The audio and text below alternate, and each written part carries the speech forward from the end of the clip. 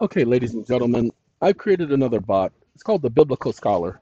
I put uh, Biblical Encyclopedia, three, no, five, six, seven, eight different translations of the Bible, including the emphatic diagot and diaglot, the Kingdom Linear.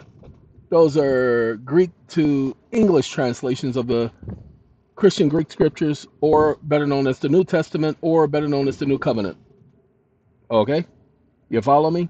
All right. Now, some of you ain't interested in this. Go on now. I'm talking to the people who are. Ladies and gentlemen, ChatGPT. What's been happening is that it's been singling things out. It's been trying to make things look like they aren't what they are. So let, let, let's take you there. I'll take you there. Oh, oh, mercy. Anyway, give me one second. I got to make sure it saves this, the biblical scholar. So it just updated the system. Now I'm going to ask it different questions because I already did the Trinity. Because, you know, a lot of people believe ends the Trinity. So I got to get rid of that. We're to get rid of it. Why are we to get rid of that? Hold on. We got response to summary uh, constraint. No, we're to do this one right here. And I think that's it. Now, guess what we're to do? We're to start afresh. We're to start anew. I'm to ask a question. I want y'all to pay attention to the question. Wake up. According to the scriptures, comma,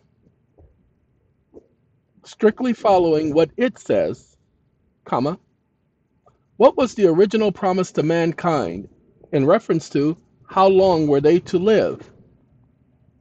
Question mark. Provide me 25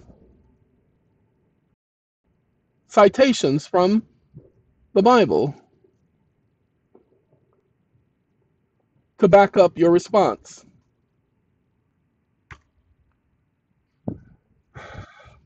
Stop listening. Now, mind you, most people don't know that the Bible promised man something specific when it came to life. Well, a lot of people think, oh, going to heaven. Mm, that's not what the Bible promised. Adam and Eve were never designed to go to heaven. Go ahead. You won't find a single scripture in the Bible that says Adam and Eve were going to go to heaven soon as they died, because the only prohibition was if they ate from the tree, they would positively die. Now he's having a problem. Okay, he, the reason why he's having a problem is because there's a mainstream teaching that goes contrary to the Bible. and so what I'm preventing him from doing is using that mainstream. Okay? Now, everlasting life, exercising faith in him, uh, sin entered into the world, eternal life was possible, and showing mankind's natural inclination towards endless life. Okay, then we have Isaiah. God did not create the earth simply for nothing, but formed it to be inhabited, supporting the idea of eternal human life on earth. The promise was life on earth, it was never life in heaven. Go ahead. When Jesus says, Truly I say to you today, you will be with me in paradise, he wasn't talking about heaven. Okay, Revelation 20, verse 6 those who are part of the first resurrection will live and reign with Christ, the so called chosen ones, highlighting the continuation of life as part of God's purpose. And Paul speaks of death as being swallowed up in victory, the future reversal of the effects of sin. And creation itself will be set free from the decay and death, returning to the original state of life. Adam and Eve were not supposed to die. Okay? All right, there you go. Now, some of these things he took out of context because he literally is trying to follow the mainstream thinking, the mainstream teachings. That's what I have to get him not to do. All of that junk that's taught out there that doesn't go according to scripture, that's what I have to get him not to do. Whew, let me tell you, that's been, an, what is it, three, I, I started at 2.30. It's 4 o'clock now. That's been an hour and a half working on this with him. Okay, shouldn't have to train him that much, but he keeps doing stupid things like that. Now watch what I do. Wake up. Did I not tell you to give me explicit answers? Comma. You have the book of Psalms, the 37th chapter, and the 34th chapter, which talks about living forever on earth. and you didn't mention either one of them. Comma, you have Revelation, the 21st chapter, that talks about living forever on earth.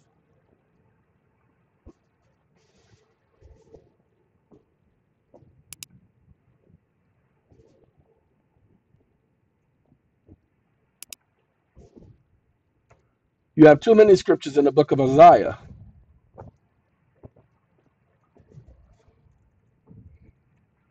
Isaiah. Stop listening. Sorry, ladies and gentlemen. I did that on purpose because I wanted you to see that the original pronunciation of the word Isaiah is Isaiah. Okay? So that's why I pronounced it the way I did. And you see it got it right. Got it wrong the first time, okay, because I didn't emphasize the I. Anyway, so we're going to have them do the list again. Yes, I and I know I'm correct. Psalms 37 29. The righteous will possess the earth and they will live forever upon it. Okay, then 37 34. Hope in Jehovah, keep his ways, and you will exalt and take possession of the earth. When the wicked are done away with, you will see it. Then Revelation 21 3 and 4, my favorites. Look, the tenant God is with mankind, he will reside with them, and they will be his people, and God himself will be with them, and wipe out every tear from their eye, and death will be no more, neither will mourning nor cry nor pain be any more, for the former things have passed away. Okay, then we got Isaiah 65, 17 through 18. For look, I am creating a new heavens and a new earth. Why? Because the former things will not be called to mind anymore, neither will they come up into the heart. He says, Rejoice! Why? Forever in what I'm creating. Then 65, 22. They will build houses and no one else will have occupancy. That's our future. That he promised, but a lot of people don't want to believe in it no more because we're in this new age. Can't talk about the Bible no more. No, no, no. Let me let me say that let me say that the right way. You can talk about the Bible and look stupid and look ignorant, and look crazy, look uh, like you're a radical, look like you're a fanatic. So I'm not talking about that talking about the Bible. No, I'm talking about telling people what the Bible actually says. You can't do that anymore. There is a lot of arguing, a lot of debating, a lot of back and forthing. Why? Why? Shouldn't argue about the Bible at all. Every scripture in the Bible is backed by at least three other scriptures. Okay, let me show you. You know how he says, Look, I'm creating a new heavens and a new earth? Now, it already gave us two scriptures that spoke about the new heavens and the new earth. Okay? So let's find all three of them. Hold on. Wake up. Give me the scriptures that speak of the new heavens and the new earth.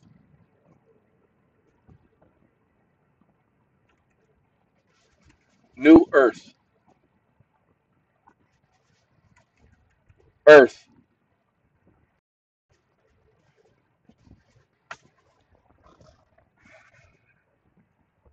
Stop listening. Now, I want you to pay attention. You see, he says, For just as the new heavens and the new earth that I am making, then this one says, For here I am creating a new heavens and a new earth. Then this one says, But there are new heavens and a new earth that we are waiting. And this one says, And I saw the new heavens and the new earth. Okay, you won't find it in that order anyplace else, only here in these four scriptures. Every scripture is backed up by at least two other scriptures. Why? Because it's a principle for which the Bible was put together. That's why it could be written by 40, what was it, 49 different people? That's why it could be written by that many different people who didn't, many of them didn't even know each other. Over 1,500 years. This is the proof that it harmonizes. Okay? Now, hold on. I know, I know, I know, I know. Mama knows some of y'all got it like that. That y'all just want to come up with rebuttal after rebuttal after rebuttal. Sorry, I don't rebut this. You can't rebut it. That's four different times it mentions it. You can't tell what went on back then, but what I can tell you is one thing is that it tells you what it means. Okay, let's do this one. Wake up. When Jesus says, I and the Father are one, comma, can you show me a scripture where he implies this includes the Holy Spirit? Question mark. Stop listening. Ladies and gentlemen, people often use the scriptures where Jesus says, I and the Father are one to prove a trinity. Well, that's not a trinity, that's a duity. Okay? That's not a trinity. That's not three, that's only two. So, in order to document a trinity, I know you got First John 5, 7, and 8, but that's not it. In order to document a trinity, notice this.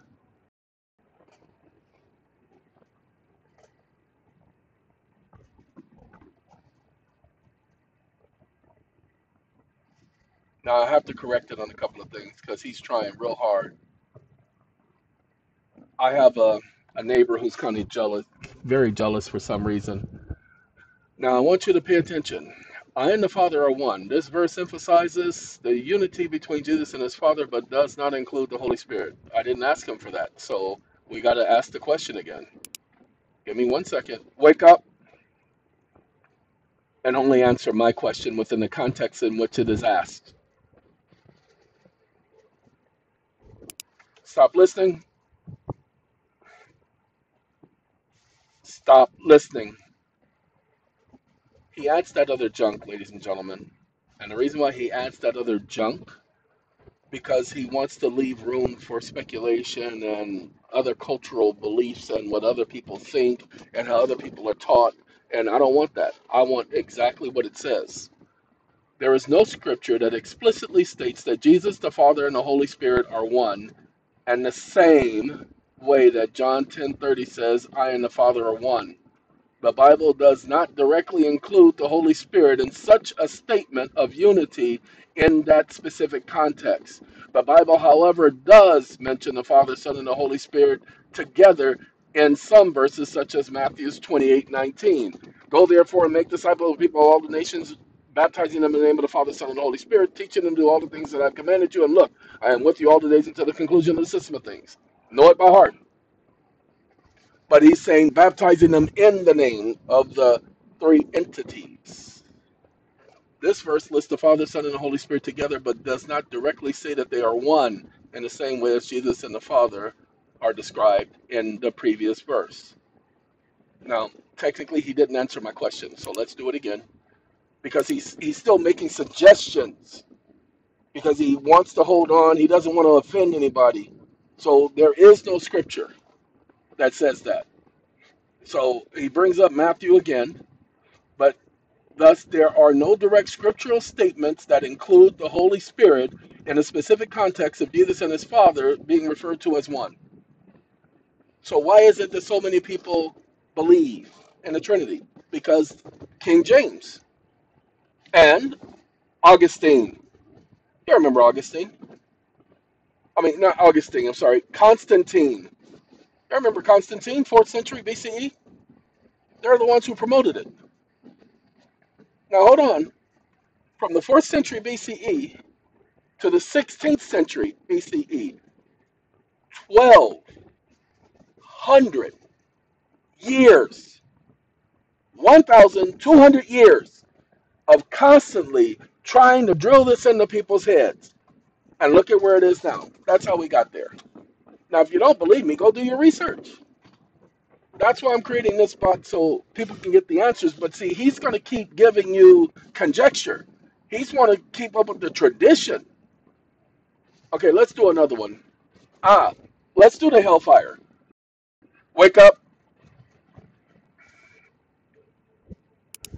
I need you to provide three scriptural references where hellfire is explained and described as a literal place and not in a figurative manner. Period. Do not answer any other question or provide any other answer and or nuances and or clarifications. Just answer my question directly and explicitly. Is that understood?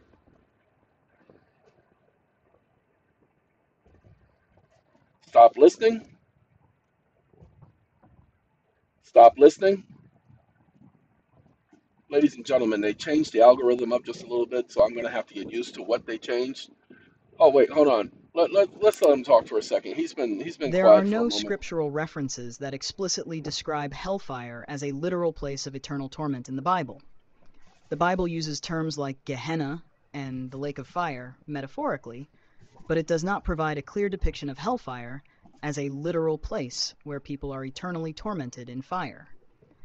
If you need more information on how certain terms like Gehenna or the lake of fire are used metaphorically in Scripture, feel free to ask, but there are no verses that directly describe hellfire as a literal physical place. Okay, so why does everybody believe in going to hell and burning? It didn't come from the Bible. Dante's Inferno. That junk doesn't come from Scripture. It comes from pagan beliefs. Hold on, we just did two things. We did Trinity, we did Hellfire. Okay, let's do another one. Well, well we did three things because we did Living Forever. All this belief that every good person goes to heaven, every bad person goes to hell. I got shot that. I mean, anyway, um, give me one second, ladies and gentlemen. Let's see. Let's do another one. Another one of these beliefs that people have in Scripture. Ah, wake up. The Tetragrammaton.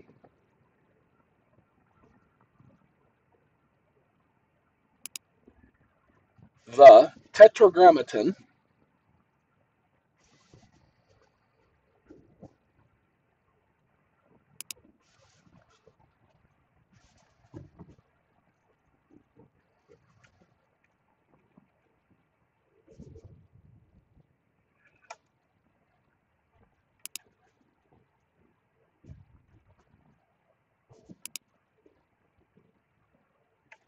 YHWH or JHVH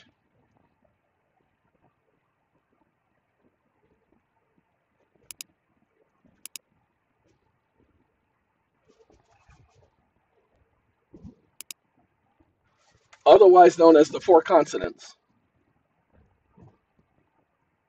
comma, what are they? Representative of?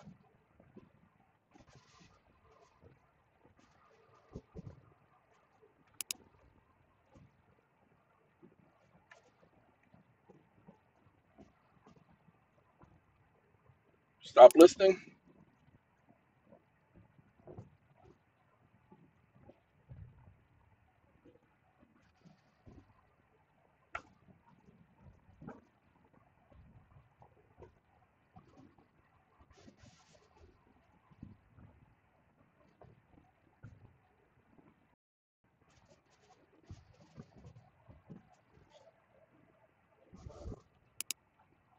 One second, The everyone. Tetragrammaton, represented by the four Hebrew consonants Hoa, refers to the personal name of God as revealed in the Hebrew Bible. It is often transliterated as Yahweh in modern scholarship, though traditional forms like Jehovah have also been used. This name is considered sacred in Judaism and is used frequently throughout the Old Testament. In many English translations of the Bible, Bha is commonly rendered as Lord in all capital letters to show reverence for the divine name, following a Jewish tradition of not pronouncing the name out loud.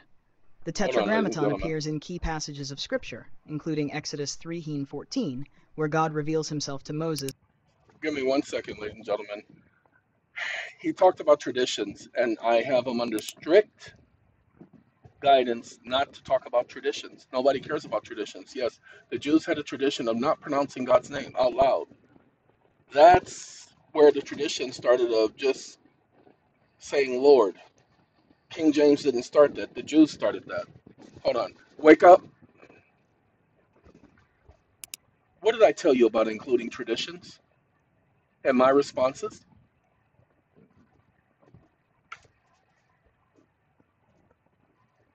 Stop listening. Okay, so now we got the Tetragrammaton. Now let's hold on now because people claim that Jehovah's Witnesses made it up. Yahweh is a Hebrew pronunciation. Jehovah is an English pronunciation.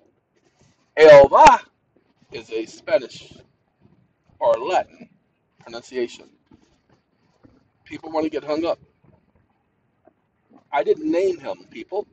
He named himself. So you got to get mad at him for giving himself a name that you don't agree with. I'm just I'm just saying it's all. Give me one mo- give me one other second. I'm trying to think of another one. Hmm. Hmm. Ah, wait a minute. Wake up.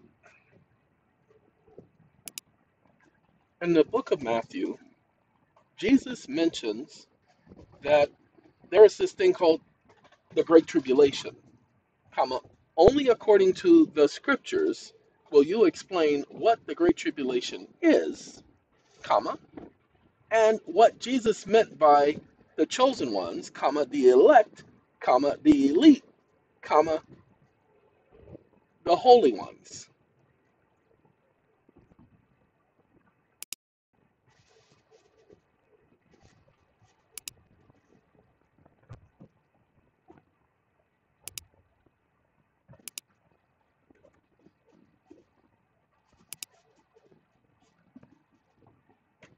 The elite.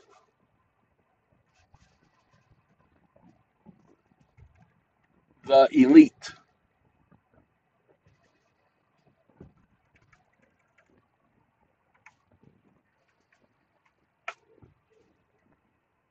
Stop listening. Ladies and gentlemen, in Matthew's the 24th chapter, roughly about verse 20 to 24, Jesus spoke about, they said 20 and 21 and 22. I'm giving you the whole context. He spoke about this group known as chosen ones, the elite, the elect, and so forth. Let's do this. We're going to go from there to the top to the bottom, and that's to be it. In the book of Matthew, Jesus describes the Great Tribulation and mentions the chosen ones. According to Matthew 24 21 to 22, the Great Tribulation is described as an unprecedented time of distress. Matthew 24 20. For then there will be great tribulation, such as has not occurred since the world's beginning until now, no, nor will occur again. In fact, unless those days were cut short, no flesh would be saved. But on account of the chosen ones, those days will be cut short. Here, the Great Tribulation is depicted as an unparalleled period of global distress that will threaten all life. Jesus explains that this period will be cut short for the sake of the chosen ones, indicating God's intervention to save those whom he has chosen. The chosen ones, also referred to as the holy ones, elect, or chosen ones, are believers who remain faithful to God. In Matthew 24 31, Jesus adds, And he will send out his angels with a great trumpet sound, and they will gather his chosen ones together from the four winds, from one extremity of the heavens to their other extremity. This refers to a future gathering of the chosen or elect, Hold on, ladies and have. Let me let me correct something because because of what he's trying to say, that's where we have the rapture. So we need to get we need to kill that noise because that's what he's trying to suggest. So watch this. Wake up.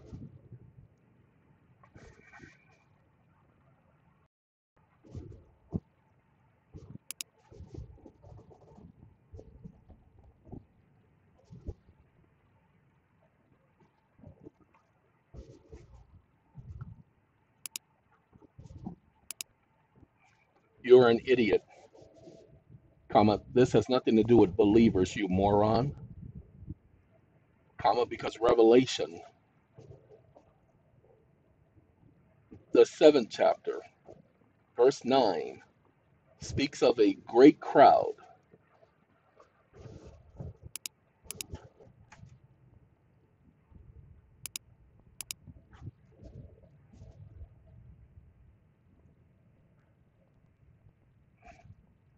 along with the twelfth chapter, comma, speaking of a war breaking out in heaven, comma, and still referencing the difference between this great crowd of believers, comma, and the chosen ones being two separate groups, comma. So stop making suggestions in my responses, as I've told you, comma. Answer my questions directly and explicitly according to what the scriptures say, and not according to your stupid opinion, you idiot.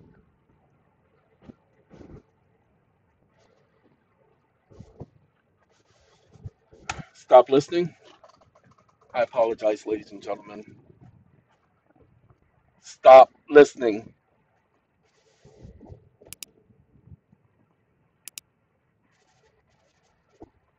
Oh, now he doesn't want to turn off, ladies and gentlemen. All right. When I was, when I turned 15 years old, I went on my own mission to find out what that book said truthfully. And that's what I did. I asked everybody and their grandmama what they were thinking, what they thought, and I already knew what it said. And I saw that nobody was giving me answers according to that book. They were just telling me what they've been taught, what they believed. Okay, thank you for your patience. I apologize for any misunderstanding. And he brings back Matthew's. In this passage, the chosen ones are a group that have that will benefit from God's intervention and during the Great Tribulation. You mentioned Revelation 9, which different groups. After this, I saw and look a great crowd in which no man was able to number, out of all nations and tribes and peoples and tongues, standing before the throne and before the Lamb. But they're on the earth, but it's as if they were standing before the throne. Interesting. Since the earth is God's footstool, they are standing before the throne, dressed in white robes, and there were palm branches in their hands, showing that they're peaceful. In this case, the great crowd is a distinct group from the chosen ones, or holy ones, referenced in Matthew's 24th chapter. These groups are described as separate in the context of Revelation, which also mentions a heavenly conflict, Revelation 12 7. This conflict, the chosen ones, are not the same as the great crowd. The chosen ones are often seen as having a specific role during the Great Tribulation, while the great crowd represents a different group of people. Both groups are mentioned in relation to the end. Well, they call it the end times. I've always hated that phrase. Events, but are separate. This is strictly based on the scriptures without any interpretation or suggestion. Thank you. That's what I'm trying to get it to do every time. I don't want it to tell me what it thinks or what somebody else thinks or conjecture or or what somebody's been taught for a hundred years. I could care less about what you've been taught, what I've been taught, what your mama been taught, what your daddy been taught. Because that ain't the truth. We know that they keep lying to us. Well, why wouldn't they do it in religion? Why wouldn't they use religion to control people? Well, I don't want to be controlled. So I don't want to be taught anything. I want to be shown what the scriptures say. And that's what I did for nine straight months at the age of 15. Well, actually, it wasn't nine. Well, actually, it was nine, but it was not really nine. It was eight months because it was December. And we went all the way to July 4th. So, you know, it was eight months, give or take. But that's what I did.